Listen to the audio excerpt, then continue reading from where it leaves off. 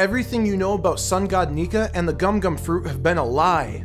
Who's Who is spilling all the beans to Jinbei and the readers. We know the Gomu Gomu no Mi was special enough for Cypher Pole to guard it, and we know that Who's Who is a ticking time bomb of lore, giving us hints about Sun God Nika and the past. But did you know that this classified information that he has is outdated? CP0 slipped a hint in chapter 1018, and I'll explain. What changed? What's the secret of the Gum Gum fruit and Nika? Fate. Uh, hey, nigga better turn me. Nigga better turn me. Yeah, nigga better turn me. Hey everyone, Golden Boy here. With all this talk about a legendary mystery devil fruit, there are many theories in the community that Luffy's fruit is not what it seems. I've heard of Sun Wukong, and I also saw a Threevils video on screen, which is a banger, go check that out. But I found something interesting on a Wano reread. CP0 accidentally slips out a big hint. In chapter 1018, the CP0 members are discussing what they should do with Who's Who, and they mention that the classified information that he has is outdated. So, what exactly are they talking about? Who's Who explains that there's a legend of a figure that's freed slaves named Sun God Nika. He also explains that he was guarding the Gomu Gomu no Mi. So, what's the deal? Which one is out of date? And then I got thinking, why not both? I think Luffy's fruit is special. And don't worry, just because his fruit might be special doesn't mean that he doesn't have to work hard. As we all know, but sometimes are afraid to admit, fate has a role in this series. Just because Luffy's the man that will become the Pirate King doesn't mean that he's lazy or that it's just going to be handed to him. He was called to it, and through his actions, he will achieve what he was born to achieve. He will bring the dawn of the new world. I feel confident to call Luffy Joy Boy. And I also feel confident that Nika was Joy Boy, because Nika freed slaves and brought laughter to them. So if Nika is Joy Boy and Luffy is Joy Boy, then obviously Luffy is Sun God as well. Luffy's the man that will free everybody, and I think that the telos, the end goal, the purpose of One Piece, is world peace. Whether that comes in the form of destroying the Red Line, or toppling Imu, or throwing the largest party in the world, or delivering Binks' Sake, all of these are for the same telos, the same end, to bring world peace. The ultimate freedom Luffy could have is to be able to explore with no wars, to not worry about protecting his weaker allies on the other side of the world. For everybody to be at peace is the ultimate freedom. Ever since I read SBS 59, where Oda drew what was on each of the Straw Hats' minds, I knew what One Piece was really about. Because Oda drew himself. And the only thought recorded in his head? World peace. So if you want to argue and say that One Piece isn't a story about world peace, then I'm gonna have to counter and say, actually, world peace is canon. Because according to SBS 59, the only thing Oda does, thinks, and cares about is bringing world peace, the dawn of the new world. This is Luffy's fate. Put simply, Joy Boy and Sun God are the same dude. Luffy will be Joy Boy, therefore, Luffy will be the Sun God. But why is Luffy the Sun God? Why is Luffy Joy Boy? Is it because he works hard? Is it because he loves his crew? Is it because he believes in himself? Or is it because he is chosen? Fate has shed her light on Luffy time and time again. Those of the D are bound to a checkered fate. Just like Roger survived the Edd War thanks to the storm, Luffy survived his execution because of lightning. Whenever he seems down and out, he will always bounce back. This is not because of plot armor, it's because of fate. Even Whoop Slap is down for fate, so come on, let's just roll with it, okay? Luffy is fated to become the Pirate King and save the world as Joy Boy. This doesn't mean that it's going to be easy. No, no, no. It just means that he's special. Things go his way. He said it. He's lucky. He's chosen to be the Sun God. Some fun with phonics. Nika comes from the word Nik, which means chosen. A few weeks ago, with the release of Chapter 1037, everybody wanted to know the name of the mysterious legendary devil fruit that the Gorosei were discussing.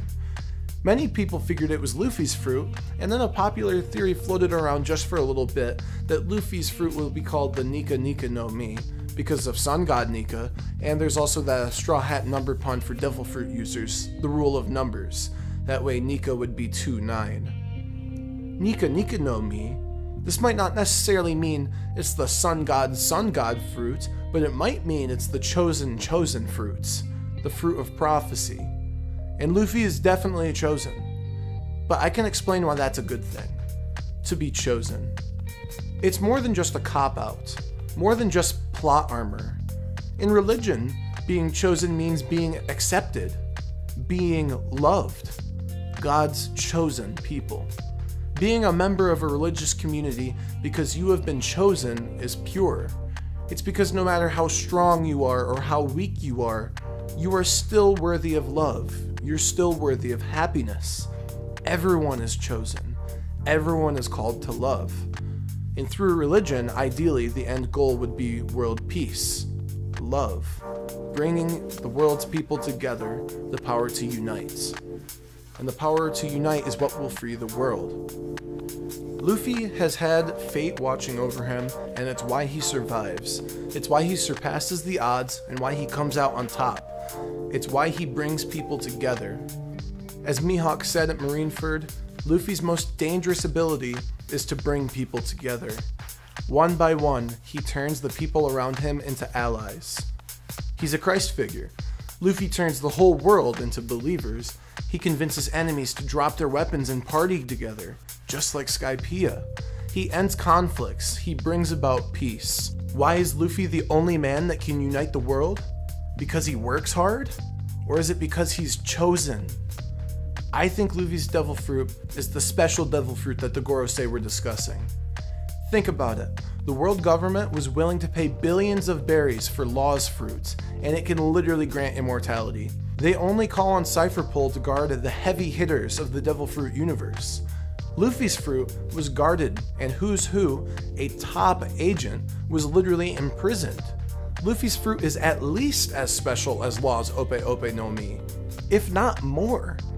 That's why in chapter 1041, the Gorosei decided that they must eliminate Luffy, even if it's just based on a hunch. The CP0 received a mission to eliminate Straw Hat Luffy. After discussing a legendary devil fruit, the Gorosei changed their target from Nico Robin, the only human alive that can read the poneglyphs, revealing the true history of the world, to a new target, Monkey D. Luffy. And how did they even rationalize this? These orders are meant to prevent the worst case scenario, you understand, though it's a scenario that we only know through rumor and hearsay. What scenario? What are you talking about? Is it the awakening of the mysterious devil fruit that you were just discussing a couple chapters ago? You know, the one that you only know about through rumors and hearsay? This all but confirms it. Luffy's fruit is not the Gomu Gomu no Mi. It's changed. It's much more special. During his fight with Jinbei, Who's Who speaks of the Gomu Gomu no Mi being special, and Nika being a god figure that used to exist. But remember, the CP0 agents explain that his classified information is outdated. That's because Nika wasn't just a figure from the past, and the fruit isn't called the Gomu Gomu no Mi. It's the Nika Nika no Mi. Sun God Nika is passed down. Nik means chosen, as we discussed, and this chosen fruit isn't just a regular fruit. It might be the founding devil fruit, a god fruit, or at least the fruit of a god. The first fruit, perhaps, with the power to unite the world, maybe even the power to do whatever you want. Forget King's Haki, Luffy might fuck around this chapter and pop a gear 5th and unlock God's Haki. Now, I know you might counter all of this with, Golden Boy, you fucking donut. That's a nice religious dissertation you dropped on us, but he could stretch his arms. It's the Gomu Gomu no Mi. It's been since 97. Nice try. But my response to this is that the Gorosei discussed a rumor about the awakening of a legendary devil fruit that was renamed. Then they order CP0 to eliminate Luffy just in case the worst scenario might happen. Little sus. If you binge read Onigashima, there are signs that are developing that all point to Luffy's fruit being special. First of all, when Hyogoro first sees Luffy's gear fourth, he's in awe and he says he looks just like a wisdom king. And just like real life wisdom kings, Sun God Nika was depicted with flames surrounding his head. Up next, we also had the discussion with CP0 and how the Gomu Gomu no Mi was captured. And the only other fruit that was guarded by the government personally was that immortality surgery fruit, the one that the government was willing to fork out 5 billion berries for. The Gomu Gomu no Mi is obviously special and for some unknown reason. Up next, we have the Gorosei discussing that there's a mysterious devil fruit legend and it's been renamed. Yeah, sure, maybe it was Gomu Gomu no Mi since 97, but it's been renamed. There's a mysterious devil fruit legend that's been renamed. And then, Luffy was ordered to be eliminated, even if there's only a small chance that it will be awakened. And this arc has already showcased a couple of awakenings Luffy might be next. And finally, in the most recent chapter 1042, Kaido was getting punched by Luffy, and he even mentioned something. He said, How can he move like this? Rubber can't do that. Luffy's fruit is special, it's chosen. Think about it. Why can Luffy even go into Gear Fourth? Is that something that Rubber can do? Rubber doesn't have gears. Sure, he stretches and he inflates his body, but like Kaido said in 1042, that's not something Rubber can do. You might not like to think so, but Hyogoro said that Gear Fourth is a Wisdom King. This isn't a rubber fruit, guys. Rubber can't do the things that Monkey D. Luffy can. What about the Red Hawk? Why is Luffy burning? Don't tell me it's because the friction burns him. I'm not buying it. Rubber doesn't burn like that. If you're going to make a story about a rubber character, there are plenty of other power ups that I'd give to him before I think to let him control fire. He could stretch to become a giant. He could shrink to become microscopic. He could reverberate and attack with sound. He could even change the shape of his body to mold spikes from himself. I don't know, not burst into flames. That's not a rubber ability. You know what bursts into flames? The sun. The sun god. Nika's chosen fruit, the god fruit. And this god's fruit grants the chosen user the ability to unite the world. So I ask you, what would you do if you had the power of a god? You could control it all. But Luffy doesn't want to rule as a god. That's why he always says so. He wants freedom, not to control. It's ironic to think that such a freedom loving man could be in the possession of the god fruit, the fruit that can control everything. A fruit that could change the properties of its subjects. Maybe Luffy made himself stretchy, that's why he can stretch. He didn't know it was called the Gum Gum Fruit, he was just told that as a young child. Didn't you think it was weird when Doflamingo was fighting against Gear 4th Bound Man, and he made a point to mention that Luffy was still stretchy and bouncy even while covered in haki. This fruit's not normal. It seems to be jailbroken. A fruit that has the power to control would certainly be sought after by Imu and the world governments. A fruit that can erase history. A fruit that can change its own name. What other powers might await? Well, gods are usually described as omnipotent, omniscient, and omnipresent. And as we get into some of these godlike abilities, obviously, we're going to get the tinfoil hats on because we're speaking about literal god level abilities. So Luffy, you know, someday he might be all powerful. He might be able to communicate telepathically, kind of like what he's done with Momo already. And um, omnipresent. He could be aware of everything. He could truly become a wisdom king. Maybe he'll be able to read minds and read virtues. That's kind of like what he did um, during the Skypiea arc when he first meets Blackbeard. It's probably more like they.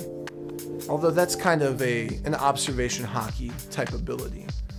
Perhaps he'll gain the wisdom to see into the future and the past of all Joy Boy reincarnations.